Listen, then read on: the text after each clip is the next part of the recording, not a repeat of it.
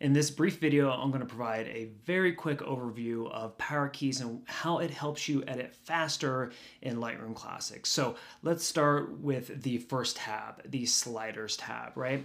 So what you can do in, in Power Keys is instead of making adjustments by coming over here and moving the slider, moving the slider, moving the slider, looking at the image, moving the slider, uh, instead of doing that, you can just assign keyboard shortcuts to uh, make changes changes to those sliders, right? So here you can see what I have set up. And if I need to, for example, um, increase the exposure, I would just press R, right, to increase it and then it changes and then I press E and it'll bring it down, right?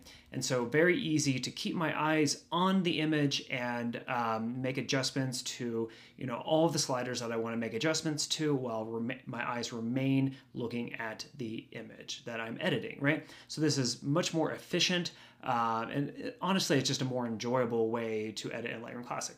Okay, so that's sliders very briefly. Um, and then we have shortcuts. So shortcuts, you can, you know, assign um, keyboard shortcuts to functionality that doesn't already have functionality in, uh, or shortcuts in Lightroom Classic. That's one thing, uh, such as this auto straighten here, right? So if I were to um, trigger that, auto straighten is triggered with a keyboard shortcut. You can't do that natively uh, in Lightroom Classic, right? Uh, we also have things like aspect ratios uh, and transform. Those cannot be done natively in Lightroom Classic either. But if you have things that uh, functionality that does exist inside of Lightroom Classic and you just want to remap those keyboard shortcuts, you can do that as well.